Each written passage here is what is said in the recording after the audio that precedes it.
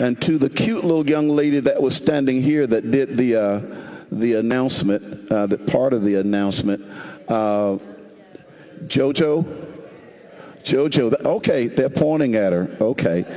Daughter, may I say to you that, that, that there are some, in growing, in growing, there are some things that God wants to do in your life that's going to make you uncomfortable because as God begins to minister through you, it's going to challenge you. If I go with God, it means some of the things my friends want to do that I want to do with my friends, I won't be able to do. And so the challenge of being used by God is often met with the idea of separating from some people.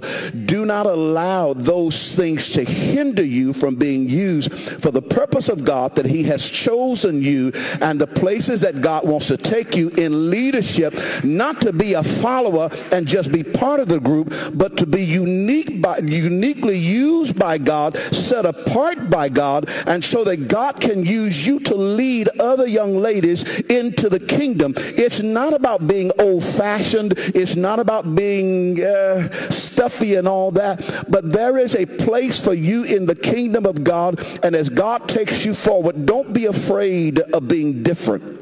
Don't be afraid of being different. Don't be afraid of being different. They will say things and they will try to mock you and say, oh, you missed this and you missed that. It's okay. It really is okay. It really is okay to be a child of God. It really is okay.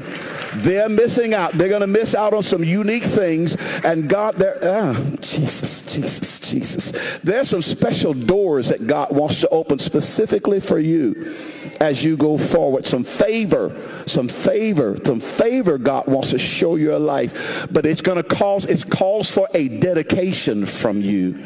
A dedication and a separation. And precious daughter, I, I've got three daughters that I love to life. I've got some other young ladies that have adopted me. So I love, I love, I love, I love, and I pray hard for you young ladies in this season for the different things that you go through. But I know that God is able. I know that what God wants to do in your life is going to be awesome and fantastic. And you're going to enjoy. If you allow yourself, you'll enjoy the ride. Amen. God bless you. Let me go on. Let me go on. Hallelujah.